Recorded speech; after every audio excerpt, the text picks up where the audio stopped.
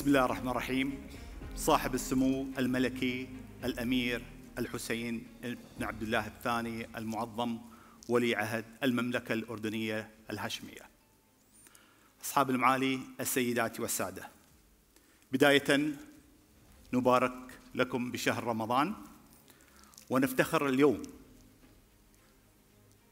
كفريق عمل مشترك بين دولة الإمارات العربية المتحدة والمملكة الأردنية الهاشمية بإطلاق هذا المشروع. عندما ننظر إلى المنطقة وإلى هذا المشروع الأردن والشباب الأردنيين هم الأكثر استعدادا لهذا القطاع. ميزة الإنسان والمواطن الأردني هناك مميزات موجودة في تاريخنا عندما نتحدث عن البرمجة فنحن نتحدث عن مميزات معينة. أثبت الإنسان الأردني منذ القدم منذ الحضارة النبطية بأنه مفكر وبطريقة مختلفة ومخترع ومبادر من خلال الهندسة التي قام بعملها وأيضا من خلال اكتشافه لطرق حديثة ومختلفة في ذاك العصر لمجاري المياه والنحت والهندسة. دعوني أرجع إلى عام 1811 في مدينة نوتنغهام في بريطانيا.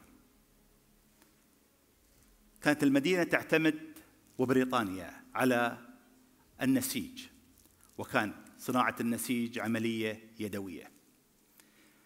في ذاك العام وفي هذه المدينة تم ادخال أول مكنة نسيج. فالذي حصل قامت هناك اضطرابات من بعض الفئات التي كانت ضد هذا التغيير. تدخلت الحكومة ومن خلال تدخل الحكومة بدأنا بأول ثورة صناعية في قطاع النسيج ومن ثم تغيرت إنتاجية العالم تضاعفت الثورات انتقل العالم إلى ثورة صناعية ثانية وثالثة واليوم نعيش الثورة الصناعية الرابعة. اليوم وفي هذا العصر نحن نمر بنفس التحول تحول شبيه. التحول هذا بيغير من مفهومنا للمستقبل ككل. من خلال هذه الأحداث التي حصلت في عام 1811 طلعت حركات أيضا.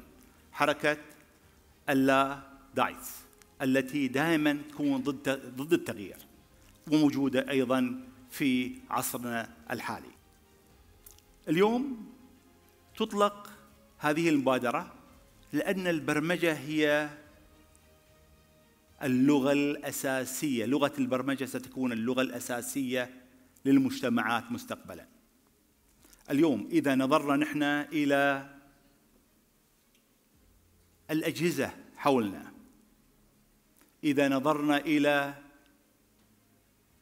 الأجهزة التي تنظم ضربات القلب تقوم بعمل ثمانين ألف سطر لبرمجة هذا المنظم. إذا نظرنا إلى الطائرات على سبيل المثال ومساراتها اليوم حاليا هناك أكثر من أربع مليون سطر للبرمجة كي تطير هذه الطائرات بأمن وأمان. إذا نظرنا إلى قطاع السيارات مثل تسلا على سبيل المثال تقوم على البرمجيات 40% من قيمة السيارات قائمة على البرمجيات. فالعملية مختلفة في هذا العصر. البرمجة هي الأساس. ولغة البرمجة هي اللغة العالمية الوحيدة التي لابد أن يتعلمها سبع مليارات نسمة. إذا نظرنا إلى عام 1969 نيل أرمسترونغ حط على القمر وكانت مغامرة بشرية بخروج الإنسان من هذا الكوكب. كنا نعرف نيل أرمسترونغ. ولكن الكثيرين لا يعرفون مارغريت هاملتون. هي الأساس. هي التي صممت من خلال البرمجة طريق المسبار من الأرض إلى القمر. فالبرمجة موجودة في جميع نواحي الحياة. اليوم سأتكلم عن كيف ستغير لغة البرمجة العالم. وستكون لدينا سبع وقفات. الوقفة الأولى هو دور البرمجة في تشكيل مستقبل الاقتصاد العالمي. تغير العالم. خلال السنوات الماضية اقتصاد العالم بدأ يتغير والتغير أيضا سريع جدا. إذا رجعنا عشر سنوات إلى السابق. 11 سنة تقريبا نتحدث عن 2008 وأهم أربع شركات عالمية موجودة. أكبر أربع شركات كانت الشركة الرابعة اي تي ان تي شركة هواتف 238 مليار دولار مايكروسوفت 313 مليار دولار General Electric 358 مليار دولار و ExxonMobil شركة نفط 492 مليار دولار. ماذا حصل بعد حوالي عشر سنوات؟ ما هي الشركات الموجودة اليوم؟ اليوم لدينا جوجل لدينا أمازون لدينا مايكروسوفت ولدينا Apple. هي أكبر شركات عالمية موجودة. العامل المشترك بين هذه الشركات هذه شركات برمجيات. ليست شركات بترول وليست شركات معدات كهربائية ولكن العامل المشترك هي شركات برمجيات. العامل المشترك أيضا أغلب الناس اللي قاموا بهذه الشركات هم في الأصل مبرمجين. فهنا نتحدث بأن ثروة المستقبل أو نفط المستقبل هو قطاع البرمجيات. والمنقبين عن هذه الثورات الثروات. وعن هذا النفط المستقبلي هم المبرمجين وهذا البرنامج قائم على البحث عن هؤلاء المنقبين.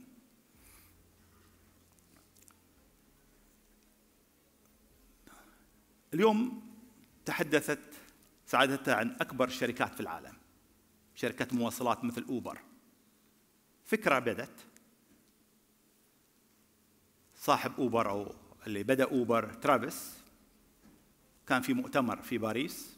طلع من المؤتمر كان يفكر ياخذ سيارة تاكسي ما حصلها نزل فكرة على تويتر على فكرة أن عندي هذه الفكرة عايز أعمل شركة للمواصلات. في 2010 بدأ بثلاث سيارات تطبيق ثلاث سيارات. اليوم أوبر من خلال منصة موجودة في 63 دولة 700 مدينة وتوفر 4 ملايين فرصة. مبرمج وفكرة وتطبيق ذكي. عندما نتحدث عن الفنادق اليوم هل أكبر سلسلة فنادق موجودة هيلتون الشيراتون الماريوت؟ لا هو تطبيق ذكي. قاموا به ثلاثة من الشباب. ولديهم حوالي 500 مليون غرفة فندقية في العالم. عندما نتحدث عن أكبر وكالة أنباء في العالم فيها ما يقارب 321 مليون مراسل. وعلى فكرة يعملون مجانا هذيلا ويبعثون يوميا 500 مليون خبر. بعض الأخبار على فكرة غير صحيحة. وبعض المراسلين موجودين. اليوم معانا الناس اللي موجودين على تويتر. عملنا هو ارسال أخبار وأخبار العالم. تغير العالم. تغير منظوم العالم. في عامل مشترك هو لغة البرمجة.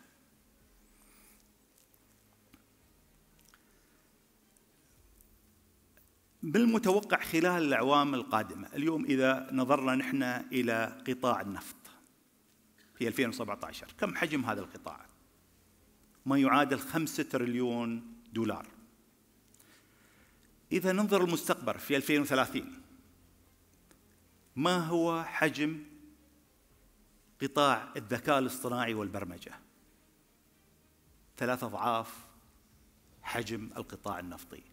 15.7 تريليون دولار في 2030 لهذا قل نفط المستقبل هو هذا القطاع قطاع البرمجة والذكاء الاصطناعي والمنقبين عن هذه الثروة وهذا النفط المستقبلي هم المبرمجين الذي من خلال هذه المبادرة نحاول أن نكتشفهم. الوقفة الثانية هو دور البرمجة في إعادة تشكيل المعرفة البشرية ومضاعفتها اليوم من خلال هذه البرمجة الإنسان أول ما دون. بدأ التدوين من خلال الكتابة بدأ في هذه المنطقة. الكتابة الأولى كانت في أوغاريت الكتابة الأوغاريتية في شمال سوريا. بدأ التدوين. وانطلق إلى الحضارات كلها. ولكن المعرفة البشرية تغيرت. ما تم إنتاجه خلال فقط العامين الماضيين يعادل آلاف السنين من النتاج المعرفي. فالمعرفة البشرية تغيرت تماما وحجم المعرفة في المستقبل سيتغير تماما. اليوم بنوصل لناتج في الدقيقة الواحدة ننتج معرفة بشرية تعادل الأعوام السابقة. اليوم إذا نظرنا حجم المعرفة في الدقيقة الواحدة فقط دقيقة واحدة ماذا ننتج؟ من المعرفة. يوتيوب ننتج أربع ملايين فيديو. جوجل في الدقيقة الواحدة هناك 3.6 مليون عملية بحث. على إنستغرام هناك 46 ألف صورة في الدقيقة الواحدة. في السناب 500 ألف صورة في الدقيقة الواحدة وهناك 450 ألف تغريدة في الدقيقة الواحدة. أما الوقفة الثالثة فهي البرمجة ستكون المصدر الرئيسي للوظائف في المستقبل. لهذا المشروع هذا والمبادرة هذه لها أهمية كبيرة للمستقبل. إذا نظرنا إلى حجم المبرمجين اليوم على مستوى العالم. هناك 23 مليون مبرمج على مستوى العالم. المتوقع في عام 2024 الاحتياج بيكون إلى 28 مليون مبرمج.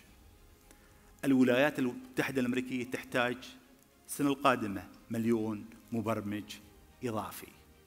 لهذا دور هذا البرنامج مهم جدا للمستقبل. ونحن كأبناء لهذه المنطقة لابد أن نحجز لنا مقاعد للمستقبل. إذا نظرنا إلى أبرز الوظائف المستقبلية في 2030 نتحدث عن محللين بيانات علماء بيانات أخصائيين بيانات أخصائيين في التجارة الإلكترونية. منذ الآن مناهجنا التعليمية لابد أن تتغير كي تواكب هذه المتغيرات. الصين على سبيل المثال لديها سبع جامعات إلى الآن طلعوا أربعين ألف خريج متخصص فقط في البيانات الضخمة لأهمية هذا القطاع. لهذا الصين بدأت تتقدم وبصورة كبيرة في قطاع التكنولوجيا وبالأخص في آخر عشر سنوات البرمجة أيضا ستغير من شكل الحكومات في المستقبل. عملنا بيتغير. كوزراء وكمسؤولين في الحكومات. كيف؟ اليوم هناك مراكز خدمية موجودة في جميع مدن العالم. تقدم الخدمات من 8 صباحا إلى الرابعة مساء. صاحب السمو أطلق. قبل حوالي شهر ومن هذه القاعة برنامج مهم جدا وهو كيفية تحويل التطبيقات الذكية إلى خدمات حكومية. هذه ستغير من أمور كثيرة جدا وهذه المبادرة التي اطلقها صاحب السمو نموذج للقادم في الحكومات. معناها الخدمات الحكومية ستقدم 24 ساعة في اليوم سبع أيام في الأسبوع 365 يوم في السنة. الجيد اليوم في المنطقة العربية في 157 مليون هاتف ذكي. مبادرة صاحب السمو بتخلق فرص بتخلق تطبيقات حكومية ستقدم للحكومات العربية الأخرى. صناعة جديدة ستقدم وهي صناعة تطبيقات في الخدمات الحكومية. اليوم في المملكة الأردنية الهاشمية نسبة الهواتف الذكية تقارب حوالي 83% فمعناها أغلب الخدمات ستقدم عن طريق هذه الهواتف وهي بتوفر كثير من جهد المواطن وأيضا من ميزانية الحكومات على مستوى العالم. كلفة المعاملات الورقية أكثر ب 3000 في المئة عن كلفة المعاملات الرقمية. هذا تقرير من الأمم المتحدة. فنسبة الوفر في المعاملات الرقمية ستكون كبيرة جدا وفي المستقبل سوف تحل الحكومات الرقمية محل الورقية بالمطلق. لهذا أعتقد وزارة الاقتصاد الرقمي كانت مبادرة جميلة وسباقة من المملكة الأردنية الهاشمية في هذا القطاع البرمجة بتكون داعمة أساسية في منظومة عمل حكومات المستقبل. اليوم عندما ننظر نحن إلى 40% من المعاملات الحكومية والخاصة ستتم معالجتها عن طريق الذكاء الاصطناعي. الذكاء الاصطناعي اللي قايم على المبرمجين.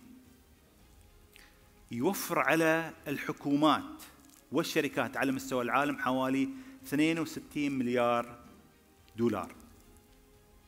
اللي تتكبدها الحكومات من سوء أو الشركات الخاصة أيضا من سوء المعاملة. البرمجة ستكون عصب الحكومات في المستقبل. أما الوقفة الخامسة فإننا نتحدث عن دور البرمجة في تحقيق أيضا وفورات ضخمة بالنسبة للحكومات.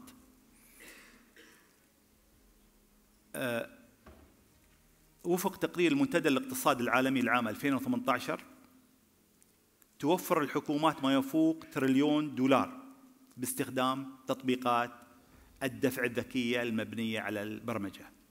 هذا حسب تقرير المنتدى الاقتصادي العالمي. فبدأ الوفر في قطاع فقط قطاع واحد قطاع الدفع الذكي. يمكن هناك تجربة كانت في حكومة دبي أيضا عن طريق الدفع الذكي حاولنا نقيس كم الوفر اللي اللي تحقق خلال الأعوام السابقة. تقريبا 4.3 مليار درهم مع زيادة إنتاجية بنسبة 6% المشتريات الحكومية. صاحب سمو الشيخ محمد بن راشد المكتوم قبل شهر أطلق تحدي الحكومة. اليوم المشتريات الحكومية تستغرق 60 يوم. قال تعلموا من القطاع الخاص في منصات موجودة. علي بابا وأمازون الأسعار موجودة الأسعار التفضيلية موجودة في شفافية. طلب أن نحول أيضا الستين يوم هاي إلى ست دقائق عن طريق البرمجة أيضا كذلك. فعن طريق البرمجة سيكون هناك توفير في الموارد المالية سيكون هناك أيضا تسريع في الإجراءات الحكومة ستتعامل مباشرة مع العميل وسيختفي دور الوسيط. وستكون هناك رقابة لحظية على جميع الإجراءات. عارفين إحنا بالضبط المعاملة متى دخلت ومتى استلمها مرة ثانية العميل. أما الوقفة السادسة اليوم البرمجة نفسها والتكنولوجيا أصبحت هي أساس للنظام العالمي الجديد. اليوم نسمع تصريحات وبالأخص بين الولايات المتحدة والصين. اليوم الصراع هذا هو صراع قائم على البرمجيات والتكنولوجيا لأن هذا هو المستقبل. يتحدثون عن ال five G أهمية ال five G هو أنه سيعطي قدرة وسرعة تعادل من 100 إلى 200 مرة الوضع الحالي. ضعف أضعاف السرعة الحالية. قائمة كلها على إعادة برمجة البنية التحتية للاتصالات ولكن جميع التطبيقات والمبرمجين يقومون بأعمالهم اليوم لرفع هذه النسبة. مرحلة جديدة من المنافسة الاقتصادية العالمية. العالم بينقسم إلى قسمين. قسم لديه هذه المعرفة وقسم قد يكون ما عنده هذه المعرفة. اليوم إذا نظرنا إلى الولايات المتحدة إذا يعني اليوم عندما نتحدث عن ال five G إذا الولايات المتحدة خلال سبع سنوات تقدمت في موضوع ال five G كم العائد الاقتصادي بيكون لها؟ ما يعادل حوالي 1.2 تريليون دولار. خمس ملايين وظيفة جديدة تغير المعادلات الاقتصادية تماما. لهذا عشان نفهم الصراع لابد أن نفهم هذه الأرقام. وكلها قائمة على البرمجة. خلاصة الموضوع بأنه من يملك هذه التقنية سيملك المعلومة. ومن يملك المعلومة يملك القرار. ومن يملك القرار يملك المستقبل. أما الوفقة السابعة فهي دور البرمجة كممكن للشباب في صياغة مستقبل العالم. شبابنا في المنطقة العربية طموح؟ شباب لديه رؤية؟ ودور هذا البرنامج هو تفعيل شبابنا في المنطقة العربية. اليوم هناك نماذج عالمية بدأت بإمكانيات بسيطة جدا. نتكلم عن علي بابا. شركة مبيعاتها فوق 850 مليار دولار سنويا. بدأها مدرس لغة إنجليزية مع مجموعة من أصدقاء 18 شاب وشابة جمعوا في شقة. جمعوا 80 ألف دولار. اليوم يوم وصل جاك ما عام الخمسين ثروته كانت 21 مليار دولار. إصرار شاب مدرس لغة إنجليزية. عن يحقق المستحيل وحققه. شاب مثل Travis Kalanick من Uber. بدأ بفكرة مشكلة حولها إلى فرصة إلى تغريدة. كان كانت عملية الشركة وال crowdsourcing بالنسبة لل funding اليوم قيمة الشركة طلعت أعتقد IPO قبل حوالي أسابيع تقريبا 85 مليار دولار. منصة وتطبيق ذكي. تكلمنا عن Airbnb ثلاثة شباب لديهم شقة. صعب دفع الإيجار. أجروا سرير هوائي.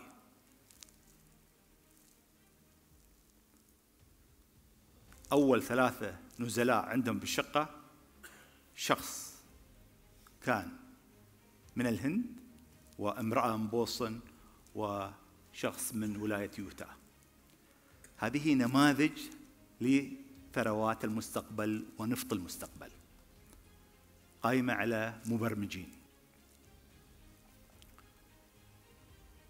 من المنطقة. الأردن والشباب الأردنيين نماذج للمبتكرين والمبدعين والمبادرين على مستوى المنطقة. حسام خوري فادي غندور سميح طوقان.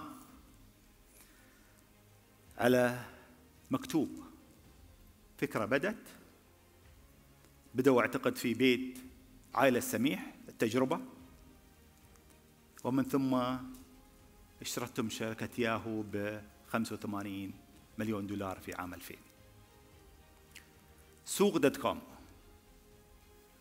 هذا رينالدو مشحور. من حلب. بدأ شركة في مدينة دبي للتجارة الإلكترونية. مكافح وعصامي. أمازون زار جيف بيسوس قبل حوالي سنتين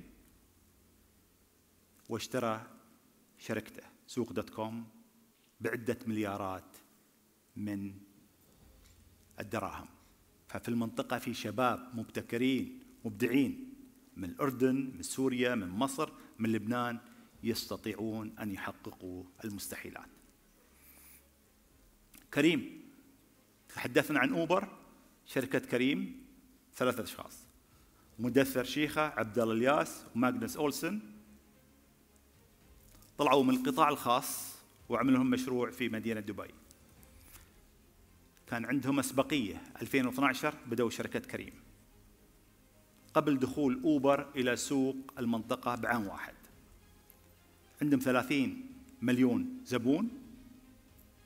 قبل شهر يمكن قريتوا الخبر هذا التطبيق الذكي اللي بدأ في 2012 شركة أوبر اشترته بحوالي 3.1 مليار دولار. المنطقة فيها قصص نجاح. وهناك آمال كثيرة في منطقتنا العربية. رعايتكم يا صاحب السمو لهذه المبادرة هي رعاية للمستقبل. اليوم هي من اللحظات المفصلية في المنطقة لأبناء المنطقة. هي أن نكون أو لا نكون.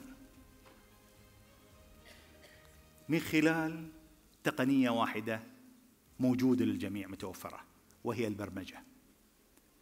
نستطيع معا كأبناء لهذه المنطقة أن نبني مستقبل أفضل أن نكتشف الموهوبين من أبنائنا لأن اللغة الأساسية في المستقبل هي لغة البرمجة التي قوامها الشباب. في هذه الأرض الطيبة المعطاءة التي صنعت الحضارات التي نحت أبنائها الصخر وحولوه إلى تحف معمارية حضارية للإنسانية. نبدأ بداية جديدة من خلال مبادرة المليون مبرمج أردني. وشكرا لكم.